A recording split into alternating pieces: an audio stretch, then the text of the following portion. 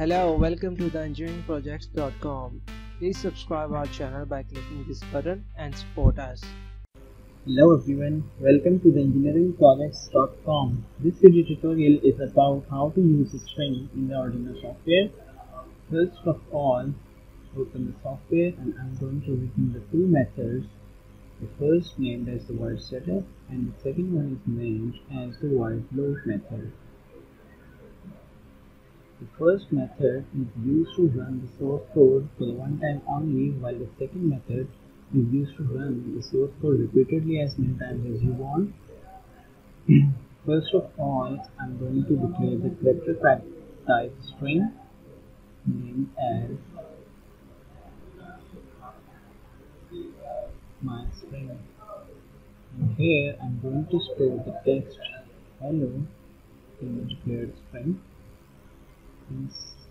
now I want to print that string in the serial monitor so first of all I need to define the baud rate at which the Arduino will communicate with the laptop. So I'm going to define the baud rate as a 4800 bits per second. That means the Arduino will communicate with the laptop at 4800 bits per second. Now I'm going to print the data on the serial monitor using the command serial.print and here I'm going to print the string in the serial monitor.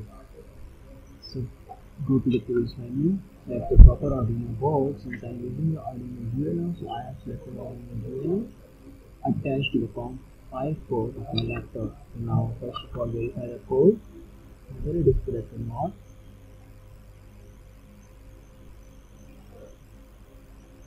Since the code has been successfully compiled, that means there is Nothing wrong with the code. Now upload the code to the board.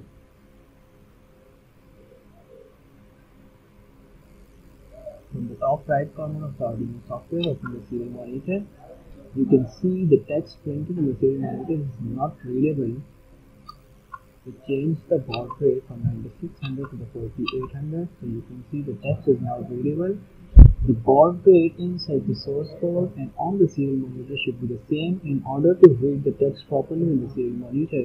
So that's all from the tutorial how to use the string in Arduino software. Take care. Bye bye.